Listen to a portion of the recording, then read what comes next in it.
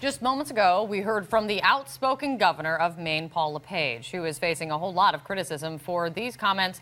Some are calling racially charged that he made at a town hall regarding drug trafficking in his state. Listen. These are people that take drugs. These are guys that are named D Money, Smoothie, Shifty, uh, these type of guys that come from Connecticut, New York. They come up here, they sell their heroin, then they go back home.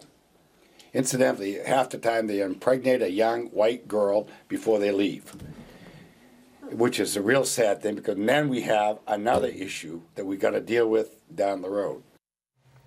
Interesting. You know, you heard some chuckles when he said what I- shifty yeah. and D money. You didn't hear any chuckles when he said impregnated white girls there. This is how the governor defended those comments just a few minutes ago. I was going impromptu and my brain didn't catch up to my mouth. I, instead of saying Maine women, I said white women. If you go, and, and I'm not going to apologize to the Maine women for that, because if you go to Maine, you will see that we're essentially 95% white.